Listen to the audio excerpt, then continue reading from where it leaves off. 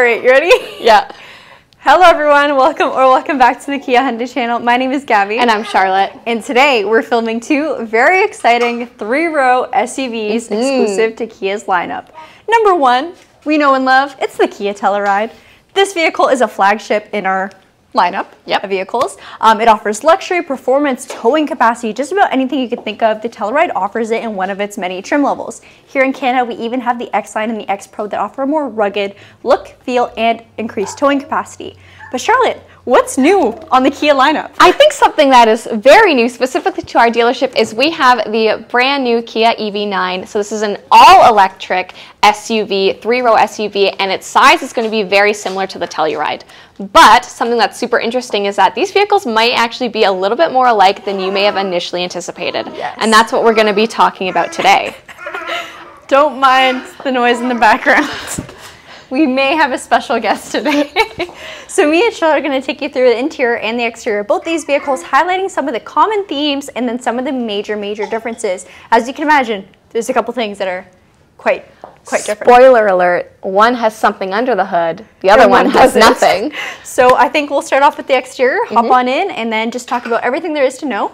We will dedicate a solid 10 to 15 minutes, maybe less, Yep. at the end of the video to answer your guys' live questions. Now, with that being said, we are a real dealership. We really sell these cars. We are located in Brantford, Ontario, but we also have a dealership in Owen Sound, Ontario, servicing both Hyundai and Kia vehicles. Mm-hmm. right, let's get into it. Let's get into it. I'll grab this. Okay, so I want to start off with the price of both of these vehicles. The Telluride, this is the SX Limited trim level, so this is what we mostly go to when we're looking for all the bells and whistles and the captain chair seating. This one is priced at 59,395 Canadian. Now for the Kia EV9, which again is fully electric, we are priced at 62,995 Canadian, plus you get the $5,000 federal rebate, so 5,000 less than 62,995. I'll start talking about the EV9 first, and one thing I want to highlight is what's not under the hood. So of course, this is an electric vehicle. We have a 99.8 kilowatt hour electric motor. Um, of course, fully electric range of 489 kilometers. You can plug this vehicle in, charge it. You can even get up to 100 kilometers in 4.5 minutes. So very, very fast charging. The range on this specific trim level is great. This is the wind, wind, wind rear wheel drive. However, if you are someone who's looking for something that ha does have all wheel drive, an extra 2000 will get you to the land all wheel drive trim level, which also includes terrain modes like snow, mud, and sand. We'll take a good look at the front end. You can see we have some very sharp styling. The Telluride has a more classic look to it, and the Kia EV9 is going to look a little bit more futuristic. And it may not be something you're used to seeing on the road, especially these wheels. These are 19-inch alloys. Um, you can love them or hate them. I think they're phenomenal. And this wheel design also has an emphasis on efficiency. So that's what gets this vehicle to 489 kilometers of all-electric range while being this big and this comfortable. Now, Charlotte, you made a great point about the comfort of these cars. So they're both very, very big. Um, now, how much space does the Telluride lose or gain over the Kia EV9? So that's a great question. When it comes to the actual exterior of the vehicle, uh, we do get about 10 millimeters more in length on the EV9, but we lose a little bit on the width. So the mm-hmm. Telluride is slightly, slightly wider. Mm-hmm. Again, about 10, mil- 10 millimeters, not enough to make a huge, huge difference. And then also when it comes to space on the mm-hmm. inside, we'll take a look at that after, but there's some differences between the first, second, and third rows. You will have a charge door, of course, as opposed to your regular fuel door. You have a target or state of charge indicator right over here with some illumination that is also an LED. Every light on this vehicle is an LED from the entry trim level all the way to the top. You can expect a full bright experience both inside and out. You'll also get great convenience features like a smart power liftgate. So again, even on the base trim, you can expect this kind of thing, which you may not get in the Kia Telluride. For seating, all vehicles or all Kia EV9s come standard with three row passenger seats. You can either get a seven seater configuration like I have showcased today or a six seater, which would have the removal of that very center seat in the second row. There's tons of room, lots more legroom that is usable in the Kia EV9 as opposed to the Telluride. Um, however, our interiors are very, very different. We'll get into more of that later. Then coming around to the very front, we'll tie things off with the Kia Telluride. So wheels, wheel arches, they are plastic molded. One thing I really do love that is similar to the Kia Telluride is the extension of the door. So it actually covers your rocker panels, meaning that when you get salty Canadian winters, your pant legs don't get dirty as you get into your vehicle. All right, the crowd is crazy today. Now under the hood, we have a 3.8 liter V6 gasoline engine on the Kia Telluride. Now this, of course, gasoline, put fuel in it, you can expect 5,000 pounds of towing capacity as opposed to the 2,000 on that rear wheel drive Kia EV9. You can also expect poor fuel efficiency, slightly poor fuel efficiency compared to an EV. One thing's for sure, you're gonna pay way more in gas in the Telluride than with the EV9. That's right. Oh, here in Canada, the Kia Telluride is standard with all-wheel drive, and like I mentioned on the EV9, you go up one trim level. It's $2,000 upgrade to get the all-wheel drive. Um, for horsepower, you're looking at 291 horsepower with 262 pound-feet of torque. Again, same thing, full LED headlights, beautiful aggressive front grille. There's definitely a lot more things going on to the styling of the Telluride as opposed to the EV9, which kind of has a more blank face um, and a futuristic yet minimalistic approach. So let me know what you guys think about the design elements. Charlotte, do you want me to grab the camera? Yeah, okay. that would be great. Show some off, so show off that design. Charlotte's gonna go be a super mom for a second. All right. For wheels, we have 20 inch alloys, and again, this is the SX Limited trim level, which is a higher end trim. So you're gonna get some more, I guess, stylish finishes. You're also gonna get some chrome accents around your windows and your pillars, and then along the belt line of the vehicle check that out. Just like what I showed on the Kia EV9, our doors are extended to cover this area here so you can expect your pants to stay nice and clean as you enter during cold and slushy winter weather. All right, Charlotte. Here's something that's different, fuel door. On the Kia Telluride, you can still expect to only have to put regular unleaded fuel in, so there's no premium, which is honestly quite a nice savings here in Canada, that's for sure. Um, again, on the SX trim level, SX Limited, you can still get things like your power liftgate. Size of the trunk is very similar. Usability of the trunk is similar. However, we do lose a little bit of space behind the third row. I don't know if you guys can pick that up on camera, but there is a little bit of a difference. Let's see if we can compare. Materials are a bit different too. You get black carpet on the Telluride and then gray in the EV9. It is worth mentioning that back here, we do have our um, seat folding buttons and an AC or household. Even, well, Pat's here. It's, it's okay. Pat Hart to the rescue. All right.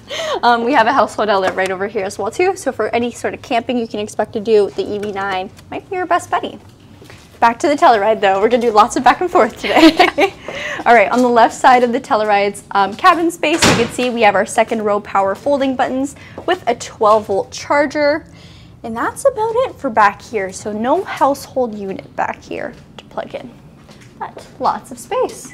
Charlotte, do you want to talk about the interior and what can we expect for tech? I would love to. All right. All right, so if you guys have not seen our full walk around of the EV9, we have posted that last week and I highly recommend you check it out for going in through all of the nitty gritty. We've also done the same thing on this Telluride as shown, so if you want a, a more in-depth look on either of those vehicles, please subscribe to the channel and check out those videos. They will be, of course, on our channel. But let's talk about some of the main differences and similarities, and I'll have Gabi just give a brief overview. That way you guys can get a good look at what the cabin looks like. Now, one of the big differences Gabi was just showing there is, of course, there's going to be styling differences, but also the controls for where your seat are and some of the convenience features like your heated or ventilated seats and heating steering wheel. Mm -hmm. On the Telluride, it's going to be very classic, uh, where we've seen it before in the center, or up at the top, yeah, in the center. Mm -hmm. So there are your controls for your heated seat and also your ventilated seats. And then also we're going to have our controls uh, for climate control, it's going to be more actual buttons, not a screen like what we'll see in the EV9. And then also you have the tool, no, dual. I was gonna say two dual, but that doesn't make sense. You have your dual 12.3 inch screens. Yeah. So of course that's going to be your instrument cluster and also your infotainment. And now in the EV9, you're going to have both of those screens, but in the center, you're going to have a dedicated 5 inch climate control menu too. Now with the with this vehicles, you do have the option for the 10-inch heads-up display, so that is available, and that is available on select EV9 trims as well, not showcased on the one that we do have today. Other than that, I'm trying to think of some of the other differences. When it comes to the front row of space, you actually are going to get about 15 millimeters more of legroom, max legroom in the Telluride. So if every millimeter is what counts for you, if you are extremely tall and space really matters, that might be some uh, a bigger consideration when it comes to the Telluride. Mm-hmm. But for right now, do you want to hop over and look at the front of the EV9, or do we want to do the Yeah. second, third row? I might. Do you want to drop the window down on the Telluride, Sure. the passenger side window, and I can showcase both. I will say um, I've spent quite a lot of time in the Telluride. I love the styling. I love the full wood grain trim. The EV9 was a little bit different for me when I hopped in, and a lot of it was a little bit more blank. Yes. However, the more time I spend in it, the more I realize it's not blank. It's just different. Yes. It's a different approach, that's for sure. and that is exactly what it is. And that's why, even though these vehicles are so similar in size and even have fairly similar price points depending on the trims that you are cross shopping, they are incredibly different. And a lot of it is going to come down, asides from you know electric versus ICE, a lot of it is going to come down to styling. So, and that's a huge thing of what we see. So, even with these screens, is we don't have the same curvature that we do have when it comes in those dual screens in the Telluride. You can see that they are a lot more straight, and in the center, you can see we have that dedicated five-inch uh, climate control screen. Let's see if we but can get it. other than There that, we we still have these lovely dual screens, 12 and a quarter inches. And we're also running a new software on the EV9. So it's different than what we see in the Telluride, different than what we've seen in the past. We are running that new software, which gives us a nice new look. I'm gonna hop in real quick and Yeah. show it. And even if you want to cycle through the menu. Now, I have to say, one of the biggest things that I love that the EV9 has is the addition of a wireless Apple CarPlay and Android Auto, despite having these bigger screens. Mm-hmm. So, when it comes to the Telluride, we don't quite have that option yet on this vehicle. It is still going to be a wired CarPlay or Android Auto. But here on the EV9, we finally, finally get that new software. We get that mm-hmm. wireless CarPlay, which I know so many people have been wanting for a long time myself included. And it's incredibly responsive as well. It's not lagging. I don't find there to be any disrupt in uh, connectivity or anything along those lines. It's incredibly well done. So nice to see. And like Charlotte mentioned earlier, the Kia EV9 is available with a heads-up display.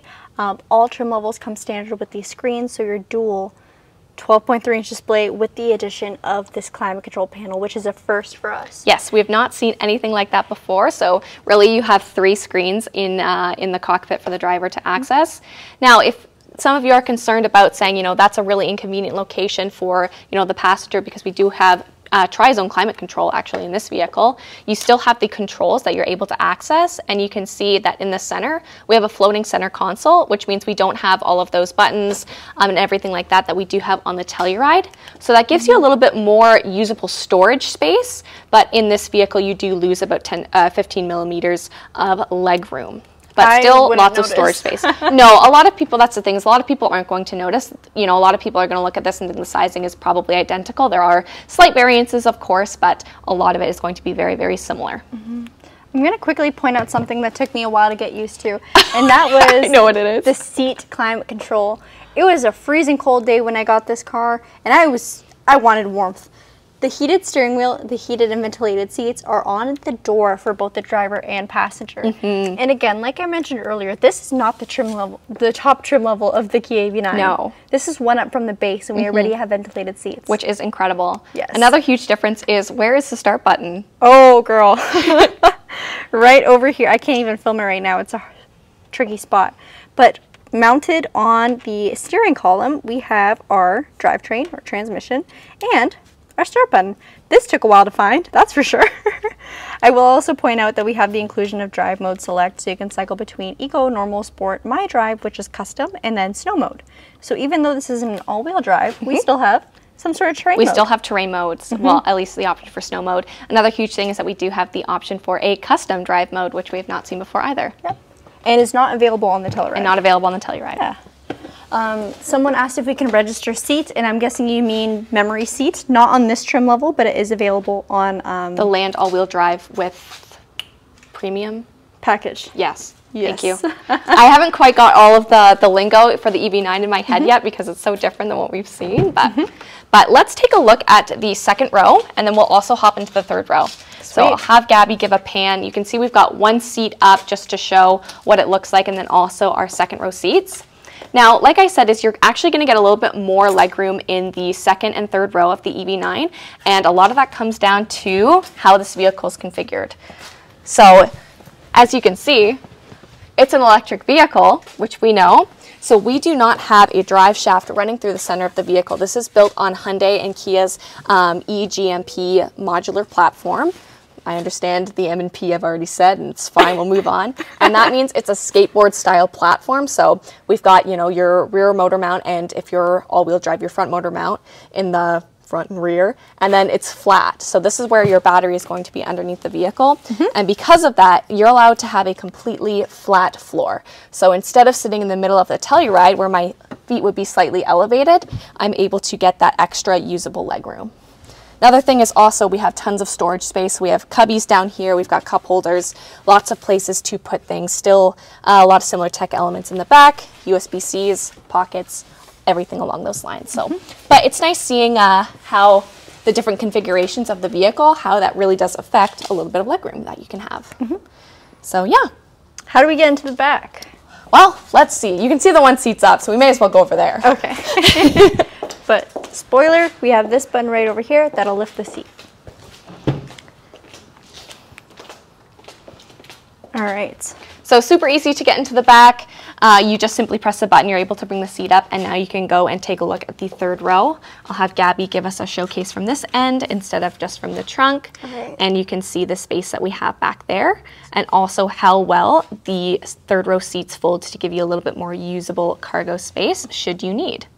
There so. is a lot of space back there. I will hop back here because although I know it's minimal, I actually did notice a slight difference between sitting in the third row of the Telluride, which I've done many times before, and sitting here in the EV9. Put my headrest up too. So again, you're gonna save a little bit more on the cargo space back here. You're gonna have a little bit more.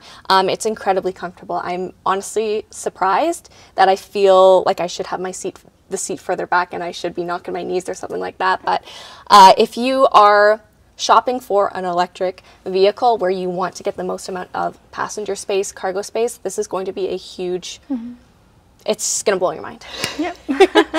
to be quite honest. There is so much space back here.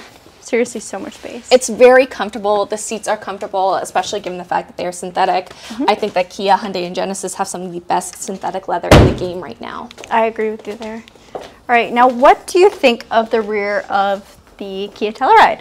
Because I mean your family has them. Yeah. Um, we literally rode in the back of a Kia Telluride to get to the airport to LA, and we yes. stuffed that truck. We stuffed that truck. I was in the back. Yes. um, so seriously, luggage for five people, and yep. we do not pack light. So we all I did pretty good. Yeah, we all fit in there. yeah. so let's take a look at what we've got going on in the rear. So obviously we have a little bit of a different setup. Instead of having uh, one, two, three, four, five, six, seven, eight. Wait, one, two, three, four. This is seven seater. Yeah. Yep, seven. That one's a seven seater yeah. too. I was like, hold on. so we can see a little bit of the differences here. You can see the slight hump.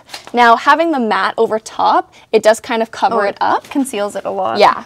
But if you had, um, if you were going down and you were driving in the eight seater and you actually had a center seat here, it's gonna be a little bit more noticeable. I'll try to hover between. You can see where my legs are. only we had a, an eight-seater here today. That's pretty official. That's pretty official. But you can see the slight differences that we do have. Um, yeah, I still find it incredibly spacious back here. Mm -hmm. You know, for someone who does not have the home that is able to power an electric vehicle, um, if I am, you know, going to continue expanding my family, the Telluride is on my list of vehicles that I want. That is what I want when it comes to being, you know, a, a capable and well-equipped family vehicle. Yep. So I don't feel like I'm losing any space or anything like that, even though I have been in the EV9, especially back here. And uh, yeah, I love a lot of the convenience features. Still have the pockets, cup holders. Down here we do have a household outlet. I know in the EV9 it's in the back, but we do have one up here in the center, 12 volt, everything along those lines. And still these seats are incredibly easy to maneuver as well. Mm -hmm. I love these seats because of how easy they are to control. Yes. So um, how do you get into the back?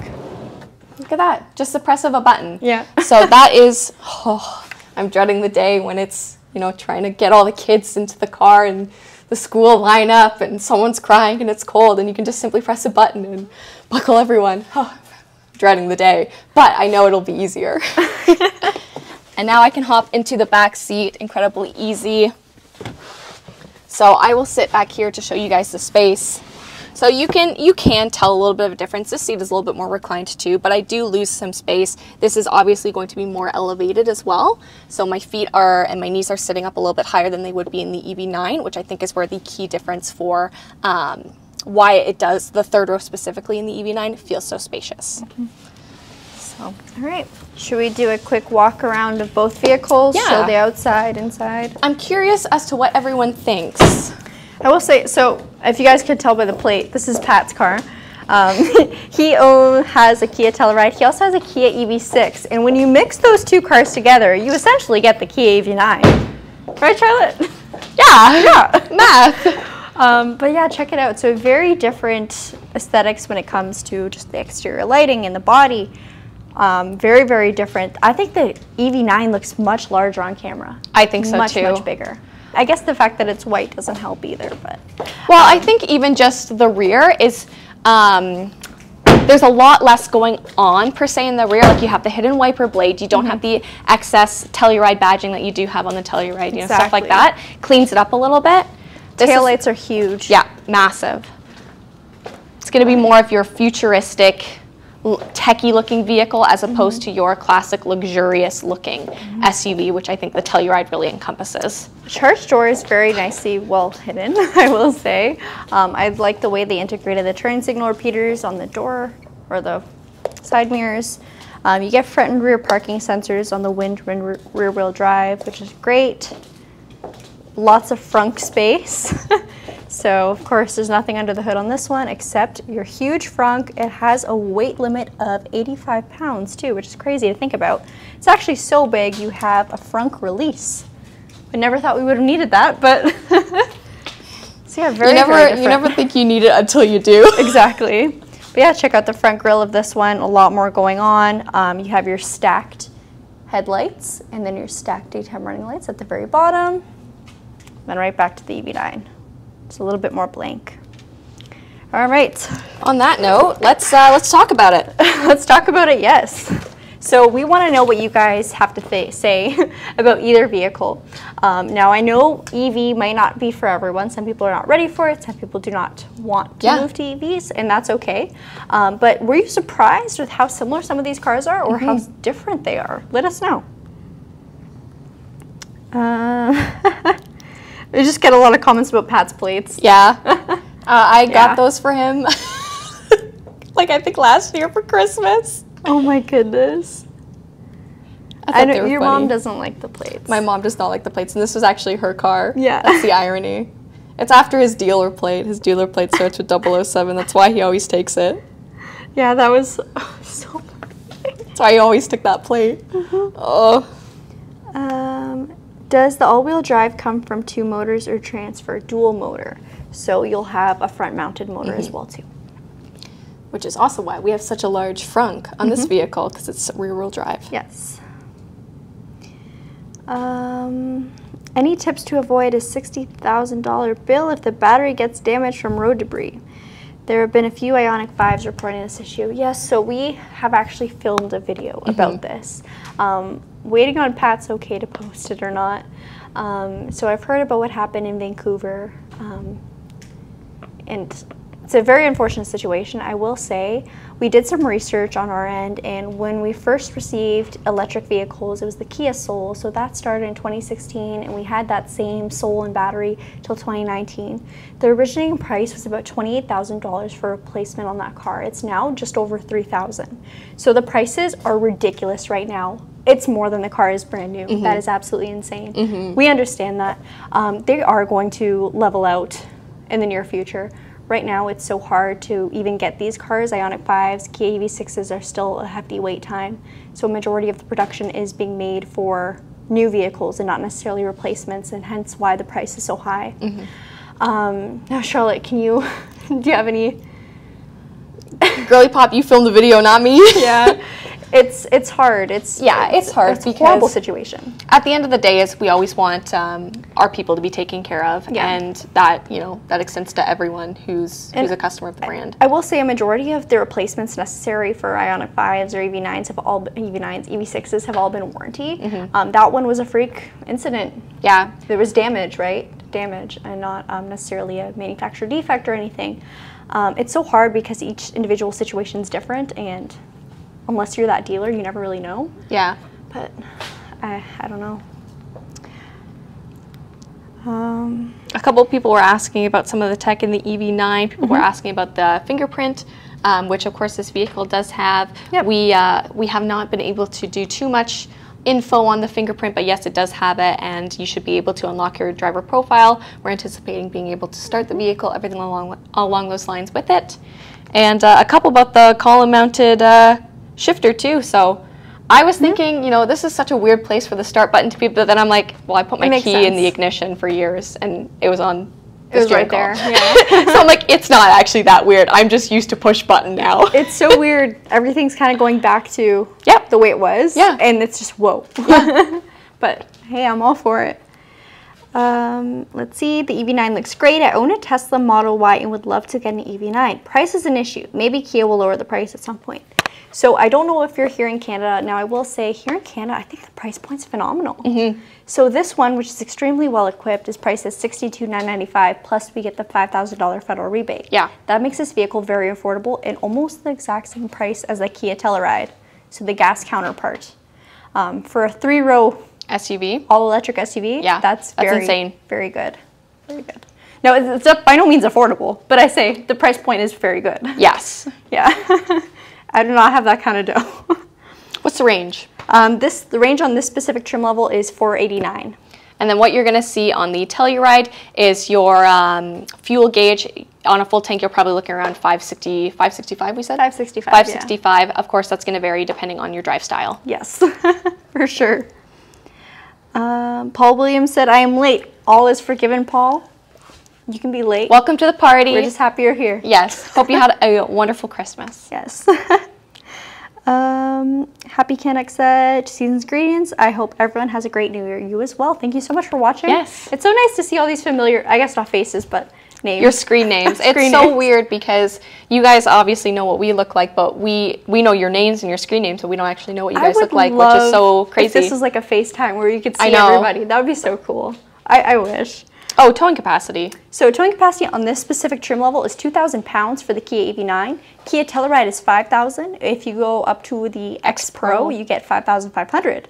But wait, if There's you go, more. there is more. If you get the all-wheel drive Kia EV9, you also get 5,000 pounds of towing capacity. Mm-hmm. Woohoo! Woohoo! Not bad.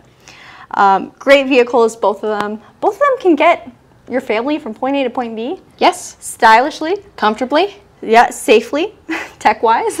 um, now you may have to stop for a charge on this one, but like I mentioned earlier, you can get almost 100 kilometers of range, 4.5 minutes charging, which is nuts. In absolutely insane. Yes. um, charge times are great, depending on what the charging is like in your area, but yeah, very capable all-electric SUV for sure. Now, Charlotte, is there any th- question you want to answer before we end off Um, today's uh, video? I don't think so. I think we talked about most. Mm-hmm. Um, if you haven't, please like this video. It would mean a lot to us. And if you have not subscribed, again, it would mean a lot to us. Um, we still have a giveaway going on until January 3rd. It's my daughter's birthday, too. Sorry. Uh, but if you have not entered that, please head over to at Brantford Kia or at Gabi underscore Brantford Kia on Mm-hmm. Instagram and make sure you enter because we want to give you guys stuff. Yep. And if you didn't already, we're giving away either your choice, Kia or a Hyundai Team jacket. Mm-hmm. Hyundai one's awesome. Kia one's also very nice. It's very stylish. Um, yes. So please check out those Check that out. Instagrams, and we can add you to our giveaway. Thank you so much. We hope to see you again on tomorrow's video. Bye. Bye. I said happy early birthday, child. I love that.